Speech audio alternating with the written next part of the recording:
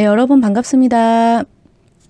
미리 보는 오늘의 운세 2019년 1월 3일 을사일에 대해서 진행하겠습니다. 네, 벌써 금요일입니다. 시간 정말 빠르죠?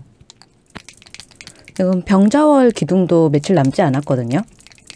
예, 실제 명리 공부하시면 아시겠지만 예, 진짜 설날은 지금 신정이 아니고 입춘부터예요. 저희 절기로 지나가니까. 그리고 음력이냐 양력이냐 자꾸 물어보시는 분들 계신데 어차피 음력으로 주셔도 저는 양력으로 또 변환해서 뽑아야 돼요. 2월 4일에서 보통 2월 5일이 입춘이니까 한 달 단위로 해서 계속 절기가 바뀌는 거죠. 절기를 아시면 사주 이해하시는데 좀 굉장히 편하세요. 자, 그럼 호랑이 달이 오기 전에는 추월이 있을 것이고 그 추월은 또 앞에 자월을 가지고 있죠. 자월 진짜 며칠 안 남았거든요, 이제. 이 자월이 끝나는 것까지. 원래 이 자월은 어떻습니까? 지금 기해년은 임수, 제가 임수라고 늘 앞에 말씀드리죠. 음, 그리고 자월은 임수가 앞에 있었죠.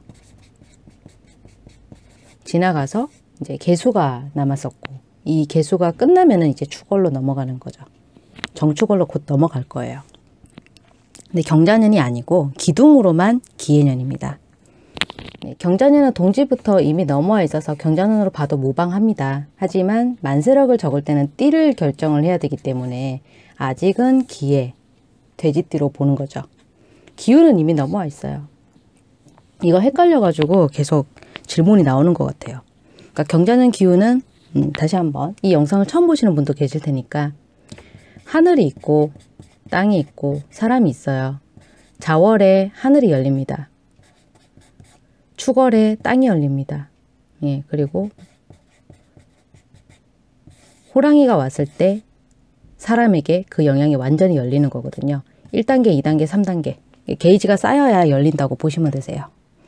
그래서 인월이 오는 게 바로 2월 4일, 5일 요때라는 거죠. 해마다 약간 하루씩 차이는 있는데 예, 저희는 지금 이 자월이 있고 하늘이 열렸다는 거죠. 그래서 경자는 운이 들어왔다는 얘기를 각 역학인 분들마다 유튜브 영상에서 말씀을 하시는 겁니다.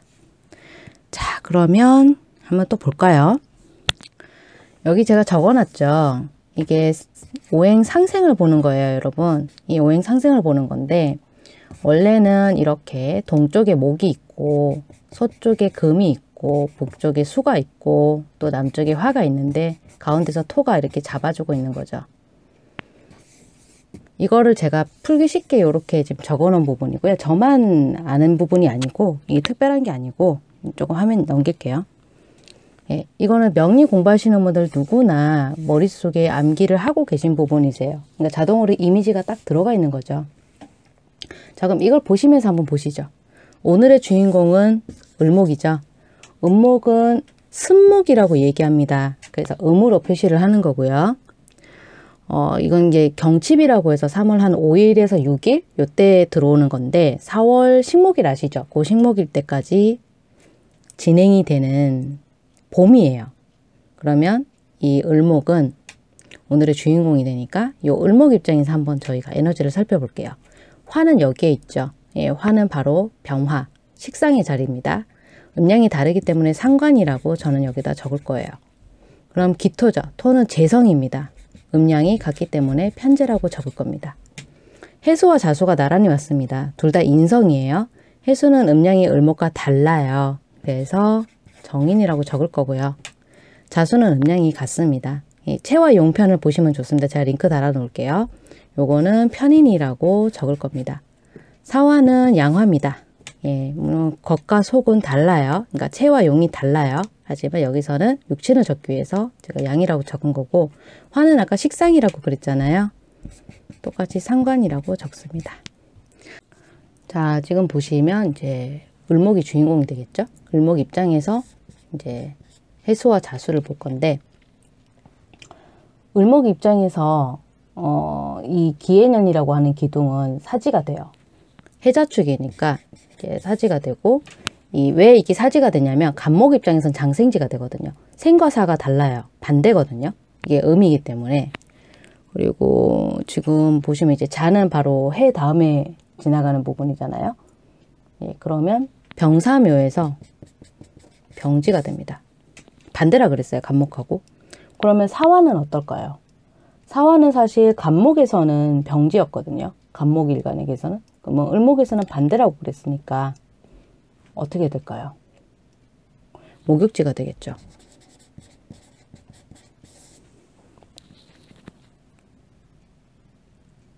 네, 이렇게 정리를 할 수 있습니다.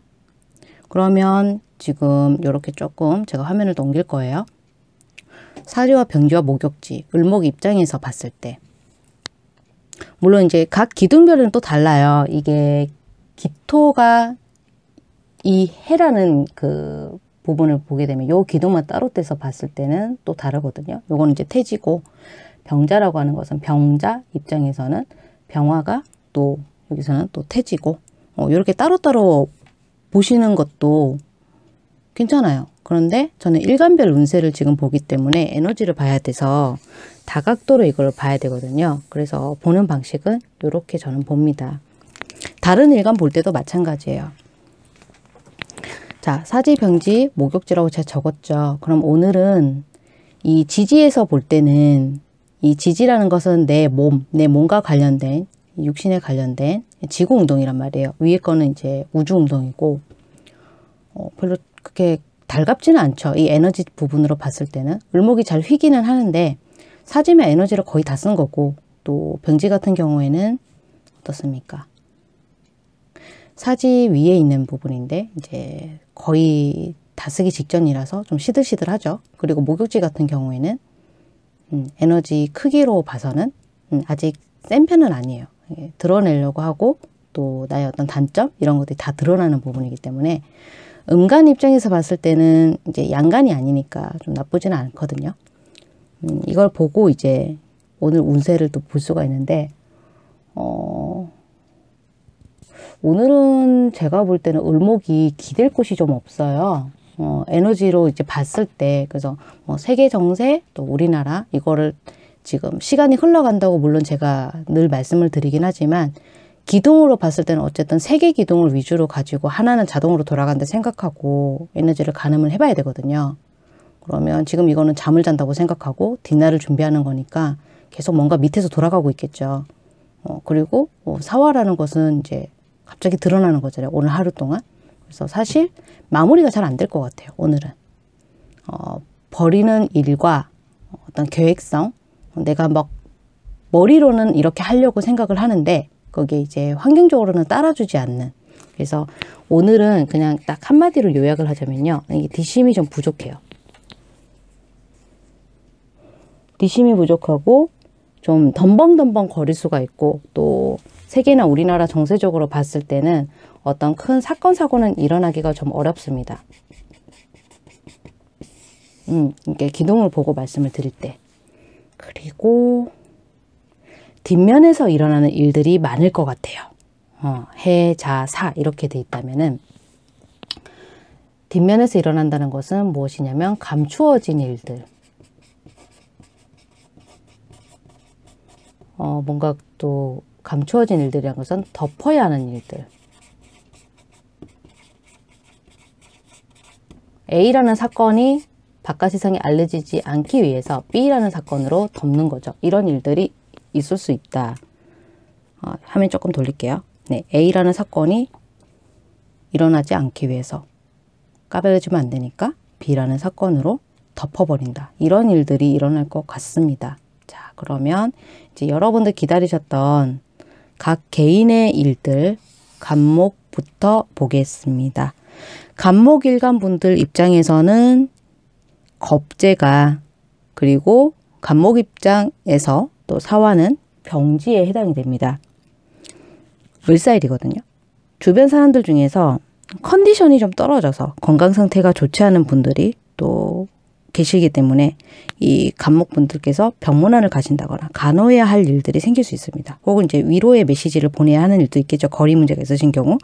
또 주변 관계에서는 본인 능력이 물론 출중하시겠지만 내가 해도 해도 안 되는 일들이 자꾸 부딪히는 거예요. 오늘따라 이 을사일 언제입니까? 1월 3일이죠. 어, 그래서 능력의 한계 이런 부분에서 부딪히게 될 것 같아요. 능력의 한계. 또 병문안. 병문안이나 간호 이런 일들이 일어나겠습니다. 자 그러면 을목분들에게는 오늘 어떤 하루가 될까요? 을목분들에게 을사일이니까 비견이 들어왔죠. 그리고 을목 일간분들께는 목욕지 환경이 되겠습니다. 이 사화라는 게 숨어 있다거나 또 잠수를 탄 주변 사람들이 있다고 칩니다. 예, 주변 사람들이 그렇게 한동안 연락이 안 돼가지고 을목분들 좀 머리가 아팠는데 드디어 그분들이 모습을 드러내는 날입니다. 또 가족이라던가 친구가 평상시 답지 않은 모습, 일탈을 하시는 것을 갑자기 목격을 하시는 거예요. 어, 예를 들어서 저녁에 퇴근을 하고 딱 들어오시는데 본인의 가족 중 누군가가 앞에서 그러니까 물론 이제 싱글이겠죠. 어, 남자친구를 데리고 와서 어, 담벼락 앞에서 쭉 하고 있다가 들키거나 혹은 음, 안 그럴 것 같은데 공부만 할 것 같던 아이는데 아이였는데 어, 집에서 야한 영상을 보다가 들킨 거예요. 어, 그럴 수 있어요. 사람이니까. 그런 가족이나 친구분들의 본인답지 않은 모습들을 목격하게 되는 하루가 되겠습니다. 그러니까 좀 신선하죠. 이런 일들이. 이제 병화를 보겠습니다. 병화분들은 오늘 이게 을목이 정인이 되거든요. 병화분들은. 음, 왜 그러냐면 여기 보시면 어, 이거를 기준으로 삼으시면 이게 지금 보시면 인성이 돼요. 예, 그래서 정인이 되고 그리고 사화는 걸록지가 됩니다. 병화 입장에서 그렇다는 거예요. 물건을 구매하신다거나 거래를 하신다거나 혹은 계약 이런 것들이 본격적으로 일어나게 될 것 같은데 어, 계획 중인 일들을 드디어 실천을 하시게 된 날들이에요. 예를 들어서 그동안 생각만 하시고 좀 엄두가 안 났던 일들 있잖아요. 어, 금액이 모일 때까지 기다리셨던 분들, 이런 분들은 드디어 그걸 구매를 강행, 강행을 하신다거나 어, 일을 이제 실천을 하시게 되는 거죠. 어떤 프로젝트라던가 개인적인 사업이라던가 이제 돈이 모인 거예요. 그래서 준비가 완료가 됐기 때문에 본격적으로 시작을 해야지라고 스타트 하시거나 시작을 하려고 이제 하시는 날이 됩니다. 그리고 정화를 보겠습니다. 정화 입장에서는 오늘 편인이 들어왔고요. 그리고 사화라는 환경이 들어왔으니까 이제 정화 입장에서는 제왕지 환경이 들어왔어요. 상대방한테 나만의 생각을 강요하지 않도록 오늘 조심하셔야 되겠습니다. 예, 무슨 말이냐면 정화분들의 생각도 소중해요. 그런데 다른 사람들의 가치관도 중요하다는 걸 잊지 말으셔야 하는 게 오늘 잘못하면은 상대방이 정화분들이 좀 폭력적이다라고 느낄 수가 있어요. 어, 나한테 왜 이러지? 이렇게 약간 거부감을 느낄 수가 있거든요. 그래서 약간 좀 부드럽게 그리고 너무 세게 관찰하지 않도록 오늘은 조심하셔야 됩니다. 안 그러면 사이가 갑자기 멀어질 수 있어요. 서먹서먹해지거나. 이제 무토를 보겠습니다. 무토분들은 이, 이걸 이제 기준으로 삼으시고 보면 을목이니까요. 네, 관성이 들어왔어요. 정관이거든요. 정관이 들어왔고 그리고 무토 입장에서 이 사화가 사화라고 하는 글자가 걸럭제 도인 겁니다. 본인한테는 주변에서 어떤 어뢰가 들어올 수 있어요. 어뢰라는 것은 이제 뭔가 일을 맡긴다는 거죠. 굉장히 중요한 일을 처리하게 되는데 굉장히 전문성 있게 이 부탁받, 부탁받은 일들을 처리를 하게 돼요. 그래서 무토분들은 오늘 아주 두둑한 보상을 받게 됩니다. 뭐 식사 대접이라던가 아니면 소액이지만 음, 감사하다고 인사랑 같이 봉투를 받게 되실 수도 있고 이체를 받으실 수도 있겠습니다. 이제 기토를 볼까요? 네, 기토분들은 오늘 을목이 들어왔으니까 평관이고요. 평관이 들어왔고 이제 사화 환경이 기토 입장에서는 제왕지가 되겠습니다. 개인 시간이 거의 없을 거예요. 오늘 일을 하셔야 된다거나 또 개인 사업자나 장사하시는 분들이나 뭐 이게 가정주부라도 상관없이 오늘 왕성하게 본인만의 활동을 하시게 될 겁니다. 업무적인 활동입니다. 내가 해야 되는 내 포지션에서의 나의 역할 일들을 아주 왕성하게 펼치게 될 거예요.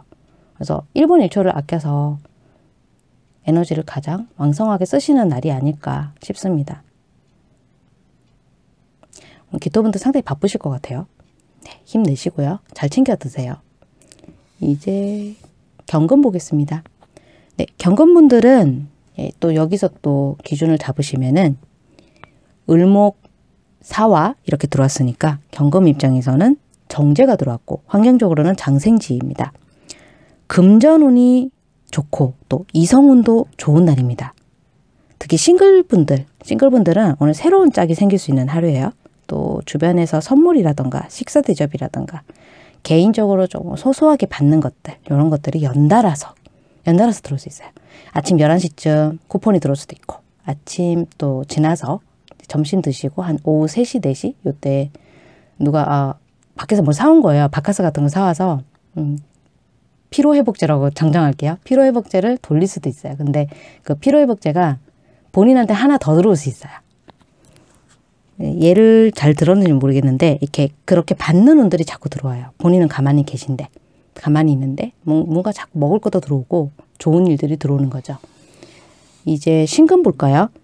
신금 분들은 이게 재성이라도 편제가 들어온 날이고요. 그리고 이 사화라고 하는 환경 자체가 신금 분들께는 사지입니다. 에너지를 다 쓰고 들어온 게 사지인데 어, 양간 입장에서 제가 말씀드린 게 음간 입장에서 돌려서 말한 거랑 약간 차이는 있어요. 이제 금전을 쓰는 거에 대해서 이제 속도가 붙어요. 그래서 지출이 굉장히 빨라지고 과해질 수가 있는데 그것 때문에 오늘 하루만 좀 어려움을 일시적으로 겪으실 수가 있거든요. 정작 내가 사야 하는 물건이 있는데 그거를 못 사는 거예요. 계산을 안 하고 돈을 썼다는 얘기죠. 또 공과금 납부를 하셔야 되는데 정작 그 돈을 못 내서 돈을 주변에 혹은 부모님께 혹은 뭐, 뭐 부인께 뭐 남편께 이렇게 돈을 빌려야 할 수도 있어요. 그 사실 좀 그렇잖아요. 이게 계획상계 돈을 쓰셔야 되는데 깜빡한 거죠. 아 돈이 이만큼 나갈 일이 있는데 내가 모르고 그걸 계산 안 하고 쓴 거예요. 카드를 긁었다거나 체크카드 같은 거. 네, 그래서 이 부분은 조금 계획성 있게 돈을 쓰셔야 되지 않나 주의를 하셔야 될 것 같습니다. 이 부분만 좀 신경 써주시고요. 이제 임수를 볼까요? 임수분들은 자, 여기를 또 기준으로 삼게 되면 이제 식상의 자리가 오늘 일전으로 들어온 거거든요. 임수 입장에서 상관이 그리고 또 사화라는 환경은 또 절지에 해당이 돼요. 그러니까 상관이 들어왔고 어, 절지라는 환경으로 들어왔다겠죠. 기존 일을 또 갑자기 그만두게 될 수 있어요. 사람이 다 다르겠지만 새로운 일을 찾으려고 하시는 날이고요. 기존 직장을 떠나려고 하시는 운이 들어왔습니다. 그리고 또 새로운 만남이 들어왔기 때문에 이별과 만남이 교차되는 하루가 되겠습니다. 그리고 이제 개수죠. 개수 보겠습니다. 개수분들은 식신이 들어온 날이고 환경적으로는 태지에 해당하는 환경이 들어왔습니다.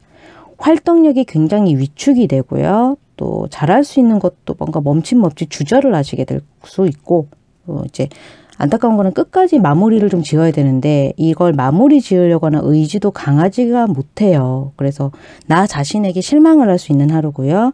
또 본인의 한계가 여기까지밖에 안 되나라고 좀 실감을 할 수 있는 하루가 되겠습니다. 네, 오늘도 이렇게 전체적으로 일간별 운세를 진행을 해봤고요. 여러분 어, 부족한 영상 봐주셔서 감사합니다.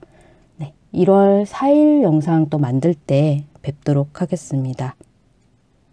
네, 여러분들 모두 모두 행복한 하루 보내십시오. 고맙습니다.